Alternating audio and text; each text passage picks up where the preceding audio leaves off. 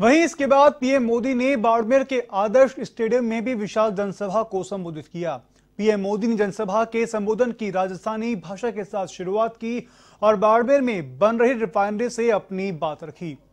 उन्होंने कहा कि कांग्रेस ने इसे अटका रखा था, जिसे भाजपा सरकार ने शुरू करवाया। पीएम मोदी ने सेना, आतंकवाद, किसान, वन रैंक, वन पेंशन सहित कई मुद्दों पर अपनी बात रखी और कांग्रेस को निशाना बनाते हुए कहा कि 55 साल में कांग्रेस ने किसानों को और गरीबों के साथ में धोखा किया है। वर्तमान राजस्थान सरकार पर निशाना साधते हुए उन्होंने कहा कि सरकार ने किसानों की कर्ज माफ़ी व युवाओं को भत्ते देने की बात कही थी, लेकिन अब तक कुछ भी नहीं कर पाई। इस मौके पर प्रदेश भाजपा अध्यक्ष मदनलाल सैनी, पूर्व मंत्री राजेंद्र सिंह राठौड़ और बाड़मेर जैसलमेर लोकसभा प्रत्याशी कैलाश चौधरी सहित कई बीजेपी नेता मौजूद रहे। इससे पहले पीएम मोदी के उत्तरलाई एयर स्टेशन पहुँचने पर भाजपा पदाधिकारियों और प्रशासनिक अधिकारियों ने स्वागत किया। इसके बाद वे सड़क मार्ग से आदर्श स्टेडियम पहुँचे।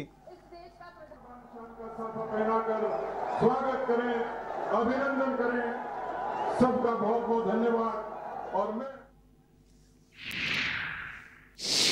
भाई और बहनों कनेक्टिविटी पर भी हमारा फोकस है। इसी तरह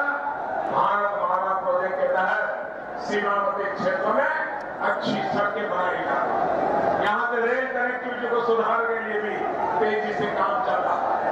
भाई और बहनों, हम संकल्प करके निकले हुए लोग। 2022 में जब देश आज़ादी के 75 वर्ष मनाएगा, तब तक हम